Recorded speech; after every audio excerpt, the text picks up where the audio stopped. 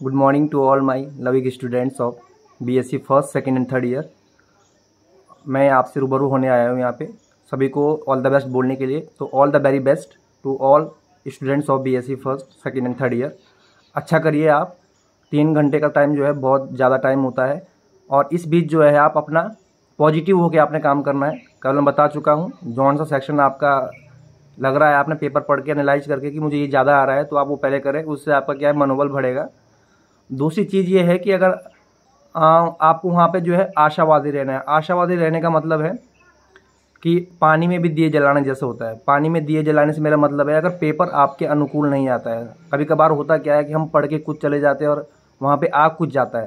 तो ऐसे केस में भी आपने घबराना नहीं है ऐसे केस में भी आपने उस सिचुएशन को हमने कैसे टैकल करना है उस सिचुएशन से हम कैसे बाहर निकलें?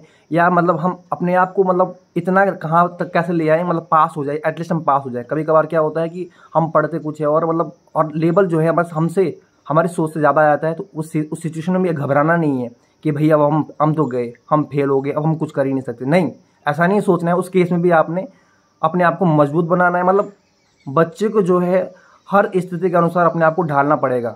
कभी कभार पेपर ऐसा हो जाता है कि मतलब हमने बहुत ज़्यादा पढ़ा है लेकिन बहुत कम आया है, बहुत ईजी आ गया। और कभी कभार ऐसे भी हो जाता है कि पढ़ा कुछ आ कुछ गया। कभी कभार ऐसा भी हो जाता है कि मतलब आया ही नहीं है वो सब चीज़ें। तो आपको हर स्थिति से निकलने के लिए अनुकूल रहना पड़ेगा। और कुछ बच्चे कल कह रहे थे कि हम अपने आप को जो है कॉन्फिडेंस गेन नहीं कर पा रहे तो कॉन्फिडेंस अगर आप गेन नहीं कर पा रहे तो मैं आपको अपना एक किस्सा सुनाता हूँ। हम भी आपके, आप ही लोगों की तरह जब हम आपकी तरह बी में पढ़ते थे और या फिर ये कह सकते कि एमएससी में पढ़ते थे, चार पाँच पाँच साल हम पढ़े हैं अपने कॉलेज से। तो हम मेरा मैं अपना बताऊँ तो मेरा क्या उद्देश्य रहता था? मेरा रहता था कि जब मैं एग्ज़ाम हॉल में घुस जाता था अंदर पेपर देने के लिए तो पहला टारगेट मेरा ये रहता था कि मुझे इत, मैं पहले इतने मार्क्स ले आऊँ जिससे कि मैं पास हो जाऊँ। बाकी लड़ाई बाद में। बाकी टॉप करना है कितने नंबर ला रहे हैं वो सब बाद में सोचता था मैं। पहले मैं इतना कर लेता था अपने कॉपी में। अगर मुझे पता है कि पचास नंबर का पेपर है तो मुझे सेवनटीन या एटीन मार्क्स लाने हैं पास होने के लिए। तो पहले मैं इतना ढूंढता था पूरे पेपर में इतना कंटेंट कि क्या मुझे इतना कंटेंट मिल रहा है कि जिससे मैं पास हो जाऊँ।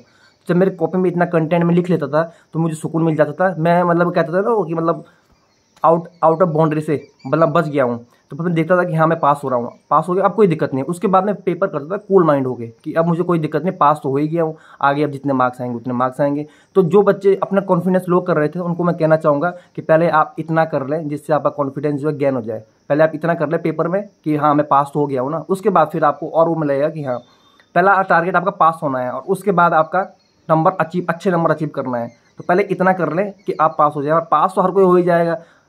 हमारी यूनिवर्सिटी ने सिक्सटीन तो आपको एम भी दिए हैं खुद सोचिए आप। सिक्सटीन में से यदि आप दस एम भी सही करते हैं तो दस नंबर तो वहीं से आगे हैं। और बाकी के छः सात, आठ नंबर अचीव कर बी बी सेक्शन बी और सेक्शन सी से अचीव करना, कोई बहुत बड़ी बात नहीं, कोई बहुत बड़ा टास्क नहीं मेरे हिसाब से। तो पॉजिटिव होकर जाए अपना, अच्छे से करना है, और बहुत, सब अच्छा रहेगा अपना। और पेपर भी इतना टफ मुझे लगता नहीं कि पेपर इतना टफ आएगा मैंने जो बताया है, वहीं से सब ऑलमोस्ट वही क्वेश्चन पूछे जाते हैं। बाकी all the very best thank you so much